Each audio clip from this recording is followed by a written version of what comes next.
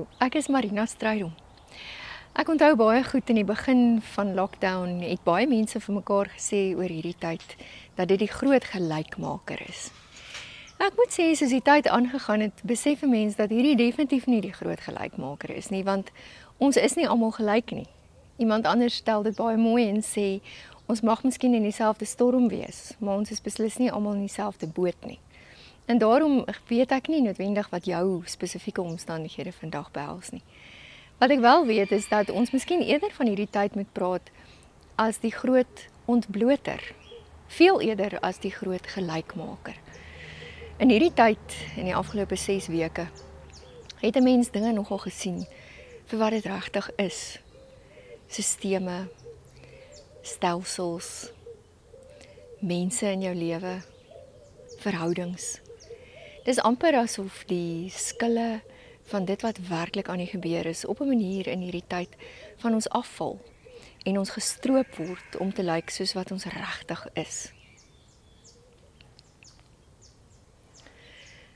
Vir baie van ons is hierdie tyd inderdaad 'n stryd om oorlewing. Nie soseer oor corona as sulks nie, maar oor dit wat aan ons ekonomie gedoen word en wat in elkeen van ons huishouding gebeur rondom hierdie onsekerhede. Ons weet dat God ons in dit alles ontmoet en dat God nie buite hierdie dinge in ons lewe staan nie. En daarom is die groot uitnodiging om onsself ook in hierdie tyd aan God oop te stel en toe te laat dat God ook ander dinge in ons lewens ontbloot. Dat hierdie tyd inderdaad die groot ontbloter sal wees van groter en dieper dinge in ons lewe. Dat dit ook vir ons sal ontbloot hoe sterk ons is met hoeveel deernis ons teenoor mekaar kan optree hoe veerkragtig of resilient ons as mense is. Hoeveel begrip ons eintlik vir mekaar kan hê en beslis ook hoe innoverend ons kan wees. Dit alles te midde van 'n tyd van groot kwesbaarheid en broosheid en geweldige onsekerheid. En daarom wil ek jou nooi om in hierdie dae wat ons eintlik nie weet presies hoe lank dit nog gaan wees nie.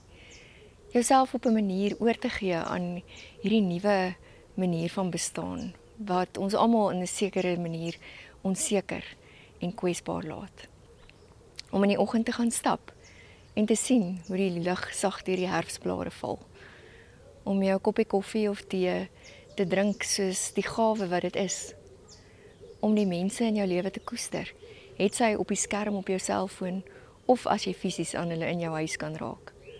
Om jammer te sê as jy jou hier meer verloor het of as jy ongeduldig was mag hierdie tyd inderdaad ook 'n tyd wees waar ons nie net ontbloot word vir al die dinge wat ons nie is nie, maar waar ons ook ontbloot word vir al die mooi goed wat ons ten diepste is, omdat God ons hierin ontmoet.